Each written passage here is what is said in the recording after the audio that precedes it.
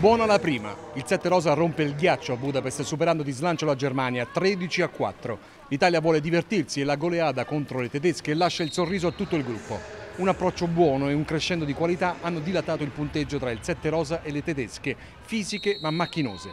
Garibotti battezza i primi tre tempi della miglior marcatrice azzurra, Palmieri e Marletta realizzano una doppietta a testa, una festa del gol dai colori siciliani. Un successo che porta anche le firme delle esordienti Carrega e Sparano e mette in evidenza la solidità difensiva. L'Italia non subisce gol negli ultimi 19 minuti e tutto questo, tra buon gioco e dati positivi, regala al debuttante Paolo Zizza un soddisfacente esordio europeo.